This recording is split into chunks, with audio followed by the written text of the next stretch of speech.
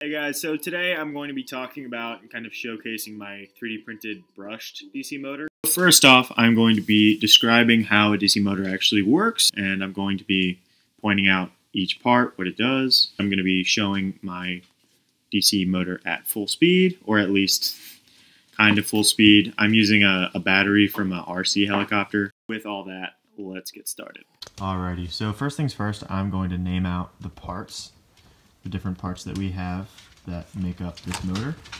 So first off, we have the stator, which is composed of these two magnets. This side has to be positive, for example, and this side has to be negative, or vice versa. Next, I'm going to be talking about the commutator, which is composed of two pieces of metal that I bent to a cylindrical shape to wrap around this 3D printed cylinder. And each one of these coils gets its own side of the commutator. You can see that each of these wires is connected to a coil. And an important thing to remember when building a commutator is that you want these two pieces of metal here to be pretty close, but definitely not touching.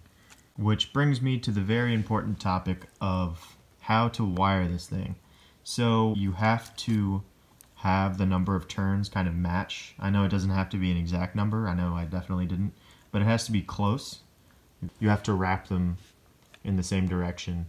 So with this one, I started off with an end piece sticking out before I started wrapping it. And then I wrapped this one clockwise. And as I started wiring this this other coil, I left a pretty big piece hanging out so that I could wire the two coils together. And they connect right there and I wired this one clockwise as well. And the end piece I just screwed I don't know if you can see that but the end piece is screwed into this commutator. Another thing I wanted to talk about was what I used to wrap the coil around. I basically just found big iron screws around my house. I know iron is ferromagnetic. Definitely use iron. I don't think you can use anything non-magnetic. I don't think it'll produce a big enough magnetic field. And the stands that I used are 3D printed. What I did was I glued these bad boys down and then I took nails and I, I put them through each one of these holes here.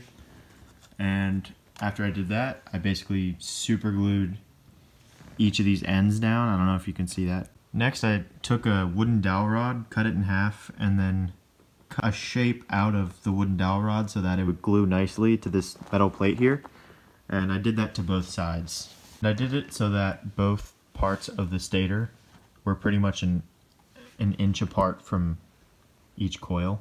So now I'm going to describe how this thing actually works. Alrighty, so first things first, these battery leads or commutator brushes are going to be vertical.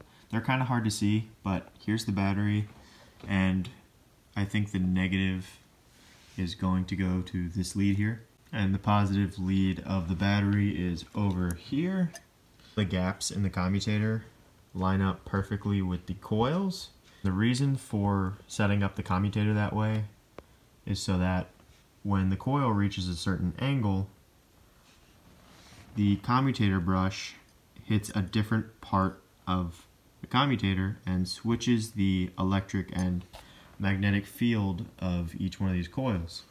So for example, this coil is now being repelled away by this magnet and it switches sides over here while at the same time the commutator position switches and this side is now being attracted by this magnet and as soon as it hits that 180 degree mark it automatically starts being repelled now because it is just about switched on the commutator.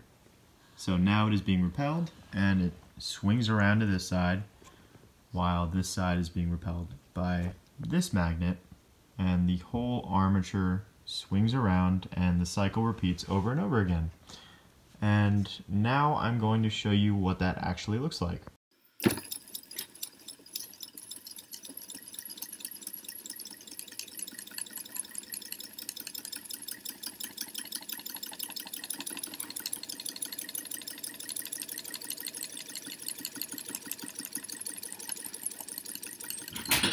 Alrighty, well, that concludes my brushed DC motor build. Hopefully, you learned something today. Hopefully, you enjoyed it. If you like stuff like this, please hit subscribe. I should be uploading some of my newer projects onto the channel pretty soon. But anyway, thank you for watching.